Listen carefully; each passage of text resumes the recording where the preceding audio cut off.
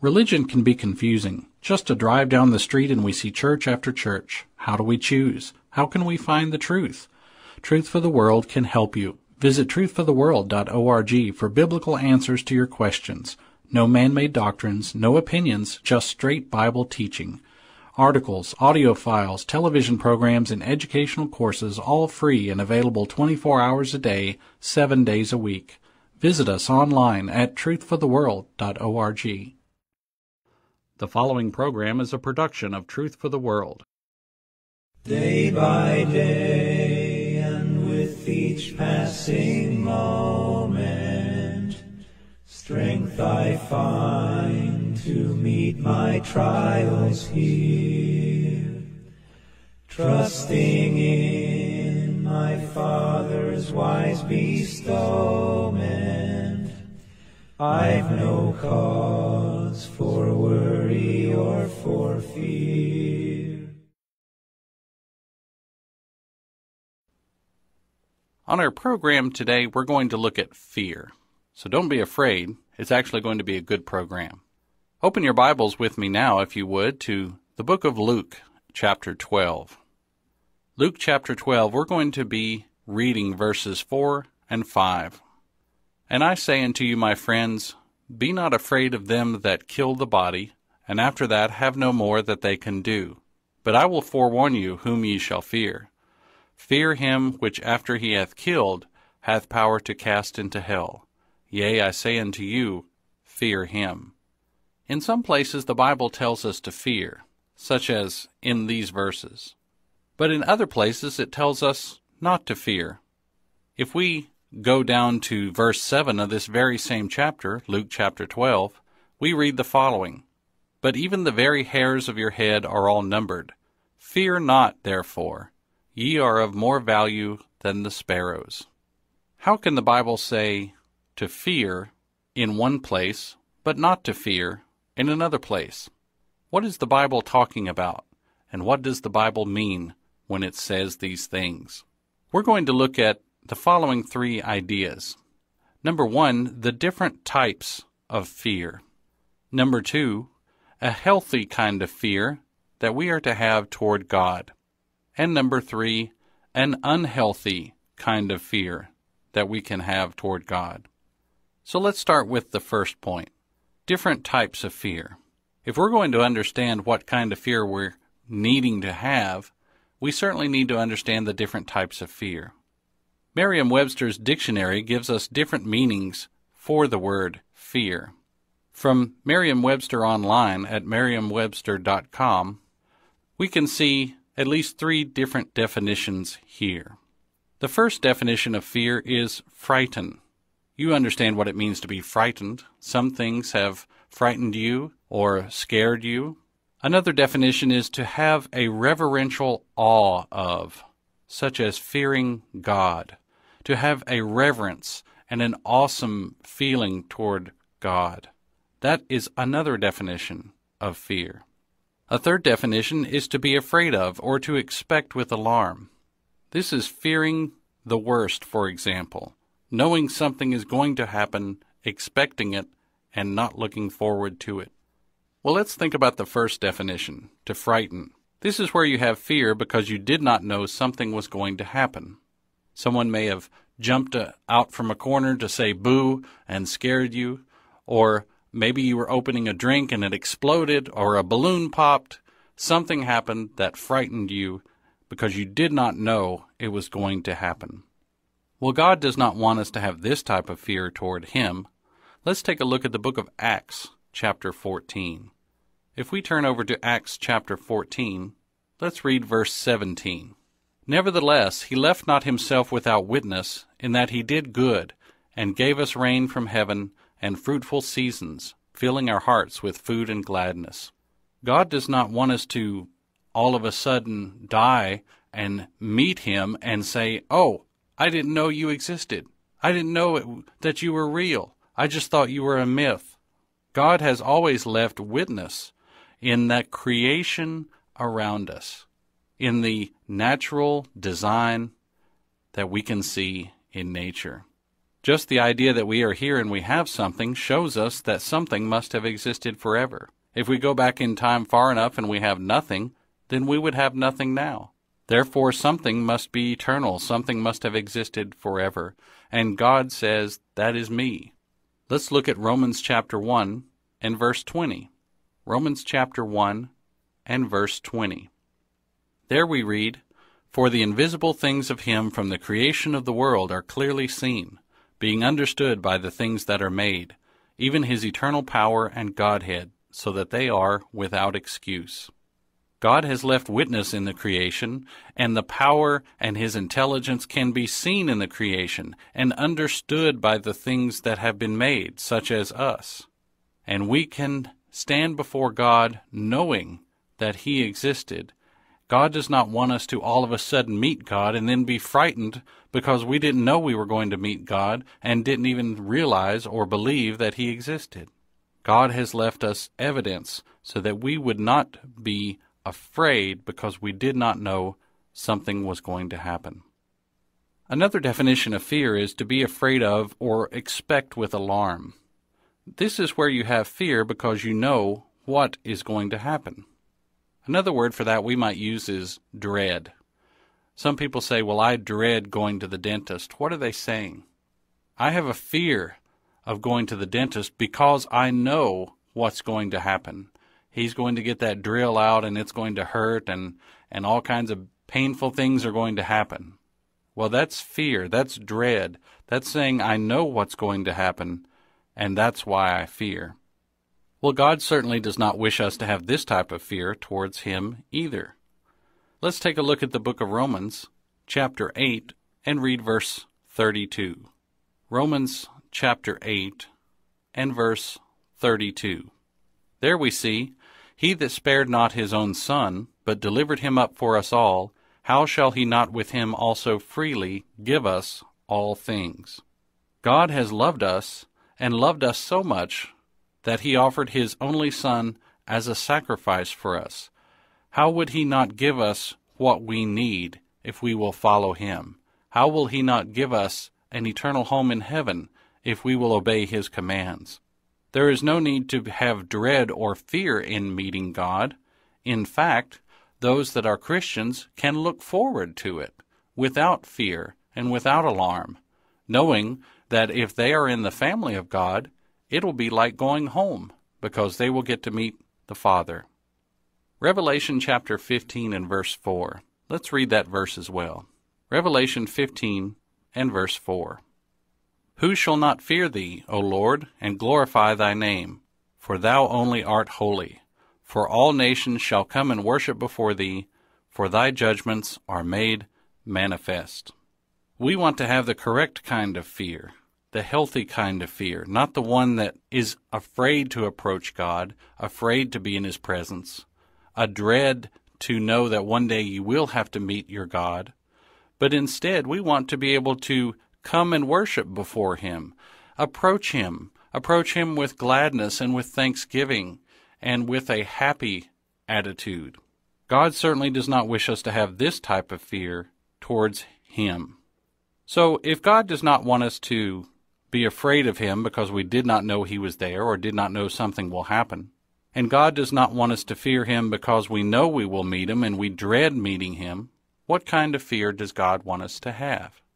Well, of course, the other definition that we read of fear would certainly be applicable here.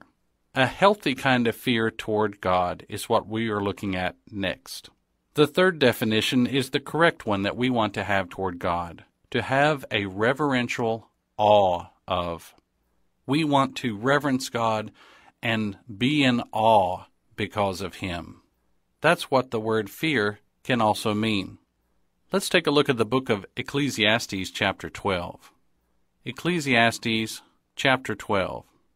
There we read in the final two verses of the book Let us hear the conclusion of the whole matter. Fear God and keep his commandments, for this is the whole duty of man.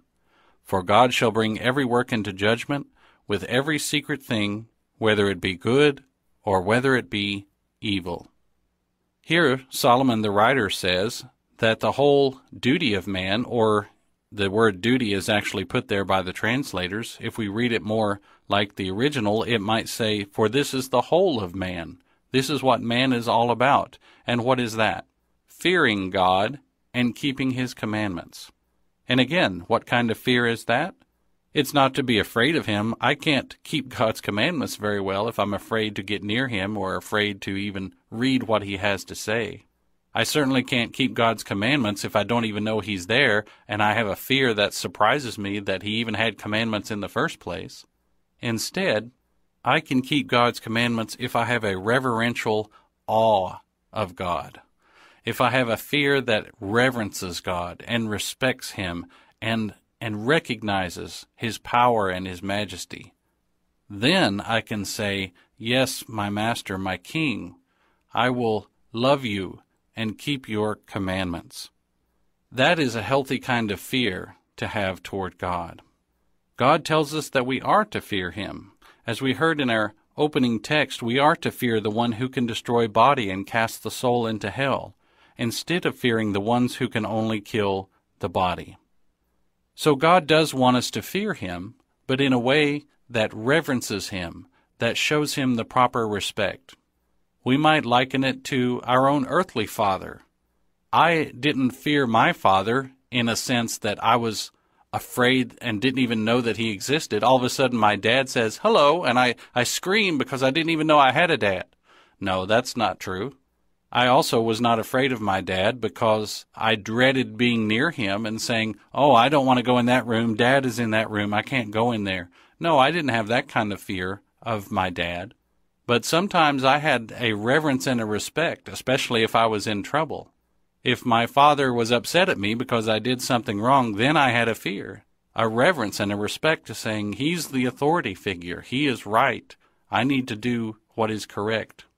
And even today, you might say I have a reverence toward my earthly father, that I fear him in the sense that I respect him and I give him reverence because he deserves it. Well, I mentioned getting in trouble. We've all been afraid perhaps when we get in trouble. And in the book of Genesis, chapter 3, when we read about Adam and Eve, they got into trouble as well because they disobeyed God and they sinned by taking of the fruit that they were not supposed to eat. In Genesis chapter 3, let's read verses 9 and 10. And the Lord God called unto Adam and said unto him, Where art thou? And he said, I heard thy voice in the garden, and I was afraid because I was naked and I hid myself. Well, it's certainly natural to fear God when we know we have sinned against Him. And here Adam expresses that very thought, that very idea. I was afraid because I knew that I was in the wrong. Let's also look at Luke 23. Luke chapter 23, and we're going to read verses 39 through 40. Luke 23, 39 through 40. Here Jesus is on the cross, and he has two other people next to him who are also being crucified. And one of the malefactors, or criminals, which were hanged, railed on him, saying, If thou be Christ, save thyself and us. But the other answering rebuked him, saying, Dost not thou fear God, seeing thou art in the same condemnation? Well, that was a very good question. Do you not even fear God? Do you not even have a respect or reverence to him? Here you are being crucified because you're a criminal. And here you are acting as if you're, you know, all important or all holy and all perfect. Look at where you are. Do you not fear God? It's natural to fear God when we know we have sinned against Him, to have a reverence for that authority and to realize we may be in some trouble if we don't take care of this we may experience the same kind of fear, that reverence and respect in our daily life that helps keep us out of trouble. Do you see, when we have a little bit of fear, the healthy kind of fear, not the dread that we can't approach God or the fear that doesn't even know God exists, but if we have a healthy dose of fear, a reverence and a respect, that can actually help keep us out of trouble. Maybe you drive down the street and you see a police car and you start to apply the brakes. What made you do that? Maybe you said, oh, wait, maybe I'm going too fast. Maybe I need to slow down. Why? Because you saw that police car and knew that you had a little bit of fear, a little bit of reverence and respect. There's the authority. I need to be careful because the authority is watching. Well, God wishes us to fear Him not in terror, but in reverence and respect. Psalm 111, verse 9 says, Holy and reverend is His name. God should be reverenced and respected. And God will have mercy on those that choose to fear Him. Let's take a look at the book of Luke, chapter 1. Luke, chapter 1, and let's read verse 50. There we read, His mercy is on them that fear Him from generation to generation. If we fear God in the sense that we have reverence and respect for Him as the authority, and we obey His commands, He has mercy upon us. He is pleased when we obey Him. And this healthy fear can make us, as Christians, do what is right. If we remember God is watching, we will answer to Him one day for what we do. You know, if we remember the police could always be watching, we'll drive like we're supposed to drive every day. Or if we just remember that God is watching every day, maybe that will help us remember to drive like we're supposed to drive every day and to live like we're supposed to live every day and try to do the right kind of living. We know that God deserves and demands reverence that we can show Him by what we do and say. So this healthy fear can make us do what is right. If we remember God is watching, I want to reverence Him and respect Him, and I don't want to fall into His hands because I've done something wrong. I should do what is right, and He will be happy, and I will be happy. Let's take a look at several verses real quick as we think about this idea of healthy fear making us as Christians do what is right. Acts chapter 5 and verse 5. Let's look at Acts chapter 5 and verse 5. You remember the story of Ananias and Sapphira? They came to give money to help the poor, but the problem was they lied about it. They lied about how much they had earned by selling their land. When Peter says, that you have lied, he says, You have lied, and you have lied to the Holy Spirit. And in verse 5, Ananias, hearing these words, fell down and gave up the ghost. In other words, he died. And great fear came on all them that heard these things. Why did those people have fear? Because they saw when someone did wrong that they were punished. And that was the kind of reverential respect that they were going to have in order to make sure they did right.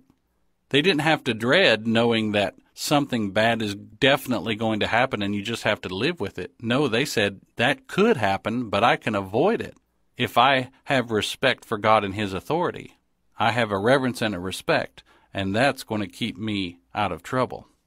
Let's look at Ephesians chapter 5 and verse 21. Ephesians chapter 5 and verse 21. Submitting yourselves one to another in the fear of God.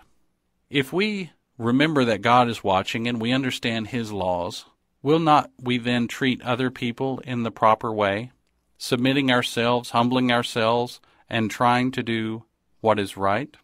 How about the book of Hebrews? Let's turn over there. Hebrews chapter 3, starting in verse 19.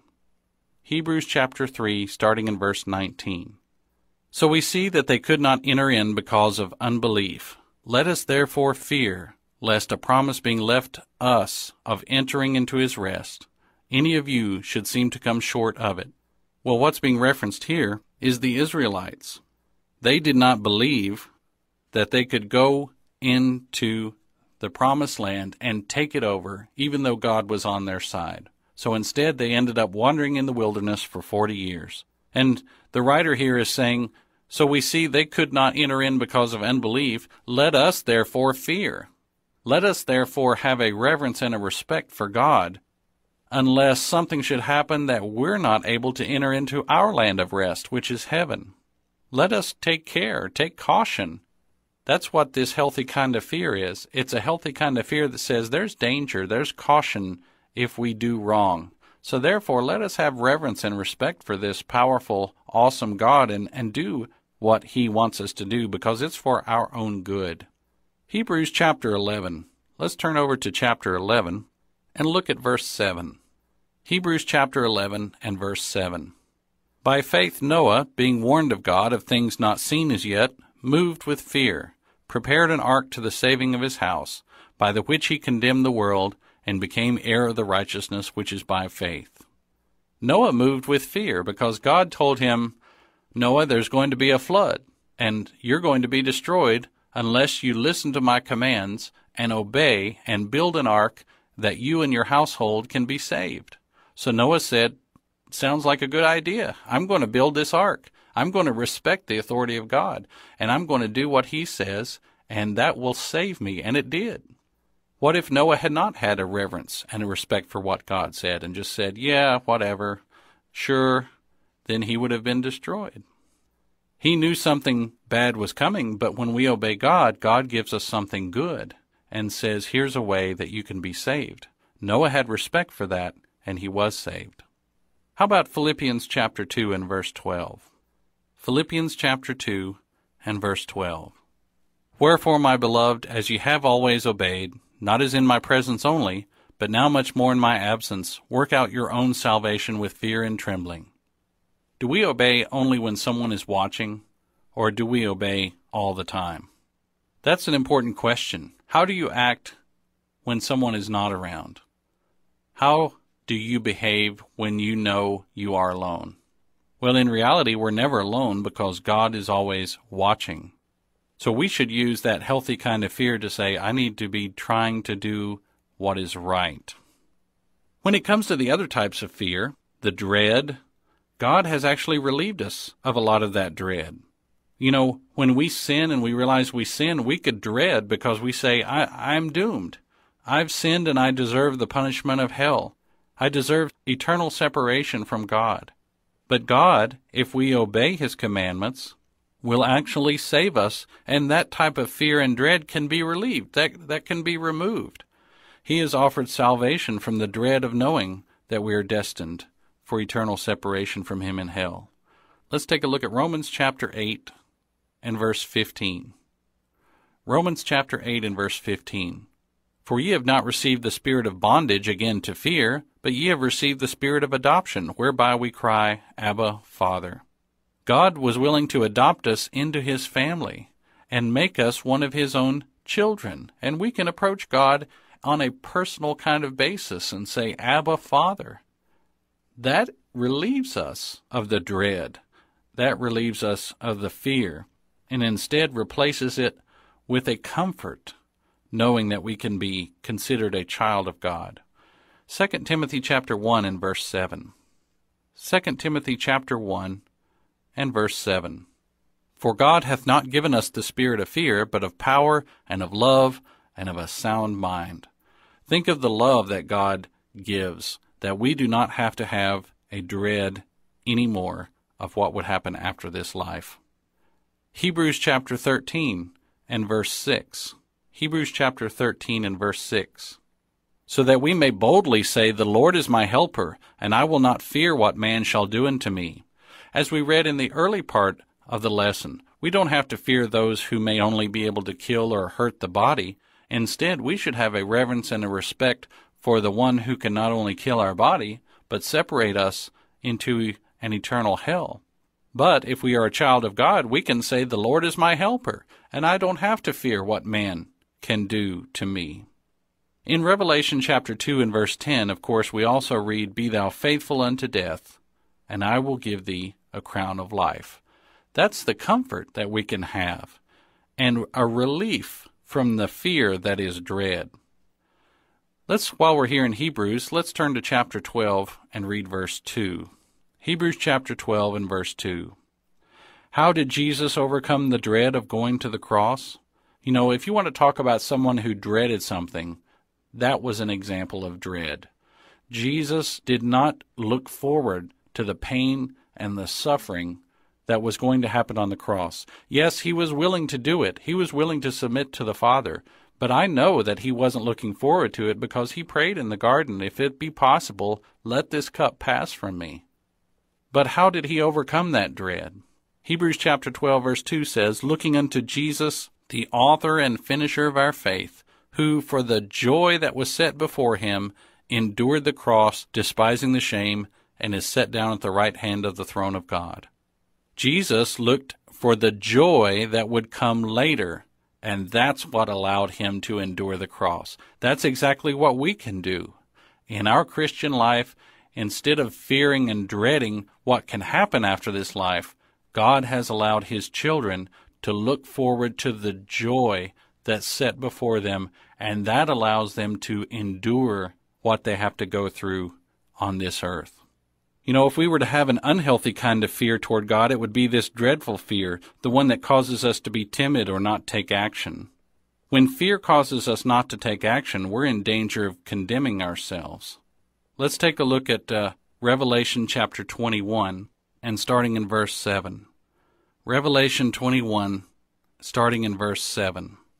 He that overcometh shall inherit all things, and I will be his God, and he shall be my son. But the fearful and unbelieving and the abominable and murderers and whoremongers and sorcerers and idolaters and all liars shall have their part in the lake which burneth with fire and brimstone, which is the second death.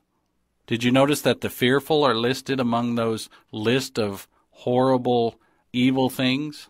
When the fear, the dread, causes us to be timid and not take action and do what we need to do, we can end up not obeying God we can end up being cowards and not doing what needs to be done.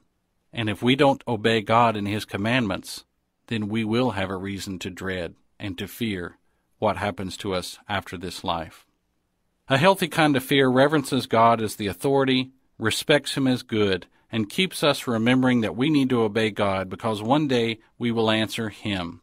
And that day for the Christian will be a great day for those who are not Christians or who are not faithful, that is a day they should dread and do something about it now while they have the time to turn that dread into joy. Jesus once told the Jews in John 8:32, "If ye continue in my word, then are ye my disciples indeed, and ye shall know the truth, and the truth shall make you free." How can we continue in the word? How can we know the truth? We invite you to visit us at truthfortheworld.org. Bible courses, TV and radio programs, tracts and articles on common biblical questions are all available at truthfortheworld.org. Come hear the Bible. Come hear the truth. truthfortheworld.org. If you would like to learn more about God's Word with a free Bible correspondence course, then write us at Truth for the World, P.O. Box 5048, Duluth, Georgia 30096, the United States of America, or visit us online at truthfortheworld.org.